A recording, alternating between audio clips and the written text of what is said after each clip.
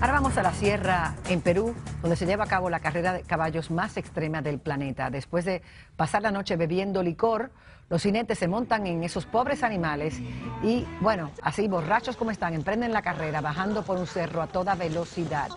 Eh, los caminos de tierra son súper angostos, las pendientes no son aptas para cardíacos, hay muchos jinetes que salen volando y se estrellan con todo el caballo. Por supuesto, los caballos con frecuencia se parten las patas y hay que sacrificarlos. Los jinetes pues se dan unos cuantos golpes y siguen, me imagino que bebiendo. Los jinetes eligen arriesgarse, los caballos no. Así que aquí pues las víctimas son los caballos.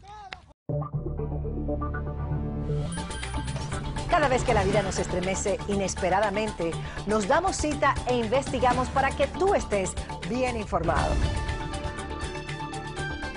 En el Rojo Vivo estamos conectados con nuestra comunidad, con sus necesidades y sus urgencias. A las 4, 3 Centro. Somos tu primer frente de información.